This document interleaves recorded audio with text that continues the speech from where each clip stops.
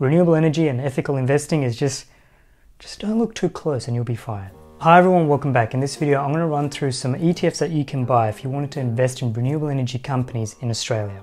Now this video is a bit of a follow-up to a previous video I did where I looked at renewable energy companies you could buy individually in Australia. And I said there was like 13 to start with and I specifically looked at five of them and I gave a bit more detail into that. And I finished that video by saying I'll come back to you with some renewable energy ETFs that you could buy that covered these renewable energy companies. And the idea was to try and find the overlap so you know exactly what to buy. And that's what we're going to go through today, so buckle up. It's going to be pretty exciting. So when you look on the Australian Stock Exchange, you realize that there are 200 ETFs to pick from. And what I've done is essentially narrow it down to about 10 ETFs. And in my mind, what I was seeing was I'll have a table where on the left you'll have all the renewable energy companies you can actually invest in, what I talked about in my previous video. And along the top, you'll have ETFs that you can invest in. And the idea was we can find the overlap so you'll know, okay, this particular ETF covers three of the companies, this particular ETF only covers one of the companies. And this is what I found. This is now what the table looks like once it's completed. It's pretty disappointing, hey? Only two of the 10 ETFs we looked at actually invest in renewable energy companies. And one of the ETFs is actually not even investing in Australia, it's actually investing in countries outside of Australia, but I included it because it's investing in the New Zealand listing of two companies that we're interested in. I do apologize, I wish I could have shown you more, but this is the reality of the situation.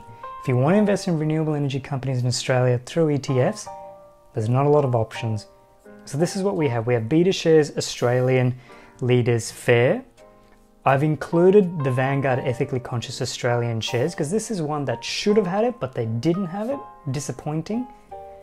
And then the last one on the end is Vanguard Ethically Conscious International Shares VESG. So the two that you actually saw the green sections on were the one on the far left and the one on the far right, FAIR and VESG. I've thrown in VETH because it's a new ETF, came out in October, and it has and it was primarily positioned to do it, but for whatever reason they didn't do it. And I guess it's probably around the rules around their ETF listings that maybe they said they wanted certain liquidity or certain standards and all the renewable energy companies didn't meet it, obviously, and they didn't appear. Awkward, but this is the rundown. So with FAIR, you're looking at a $700 million market cap. It's one of the big ones. Fees are actually a bit high. 0.49%, $4.90 for every $1,000 you're investing. It's a bit, it's a bit rich. It's a bit rich, is all I'm saying.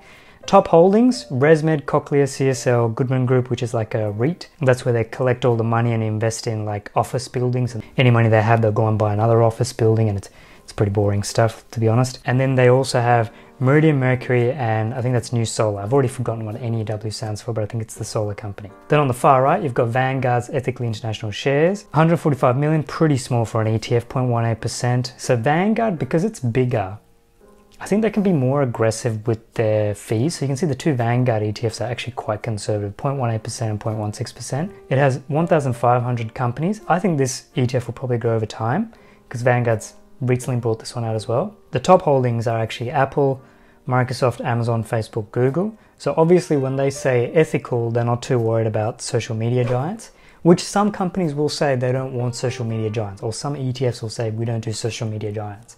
So you won't see them. Vanguard standard obviously allows them to do that. And then towards the end of their listing, they had Mercury and Meridian, but the New Zealand listings. So sometimes a company will list or they'll be on both the Australian Stock Exchange and the New Zealand Stock Exchange.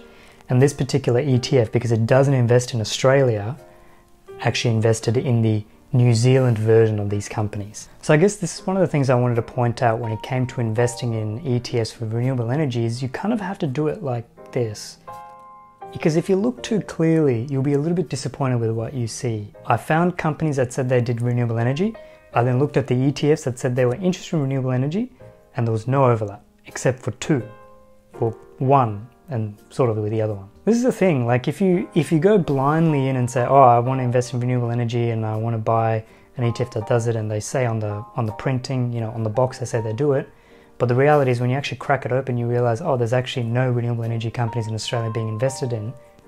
It's a bit awkward. Now, all this being said, I'm actually still interested in renewable energy space. This actual process of making videos about renewable energy companies and renewable energy ETFs, it's got me thinking about renewable energy as a potentially interesting area. And I'll just give you a quick snapshot why, is because their operating costs might be quite low.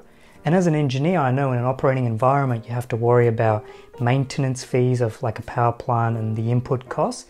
But I can already see with renewable energy power plants, there's no input costs. Like you don't have to pay for the sun or the wind. It's not reliable, but you don't have to pay for it. And the maintenance costs, like what are the maintenance costs of a solar power plant? The thing just goes, just follows the sun, maybe a couple of electrical motors. And then when it comes to the actual wind, the wind turbines, I mean, maybe the gearboxes need to be maintained every once in a while. Like, it, I, I feel like these are very high margin businesses, and I think it's an interesting area. It's just unfortunate there aren't a lot of companies to kind of play with in Australia, even though we're quite a capable country. So this interest in renewable energy has actually resulted in me acquiring this book, Superpower.